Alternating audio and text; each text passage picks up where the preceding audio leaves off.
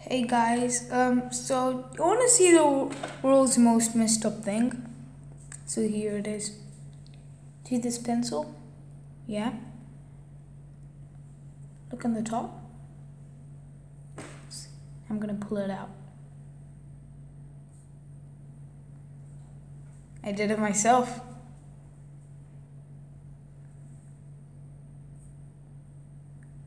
Ta-da.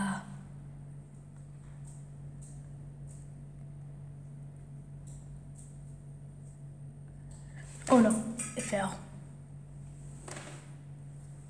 So this is how engineers of pencil sometimes miss everything about Maxi. It's kind of messed up, right?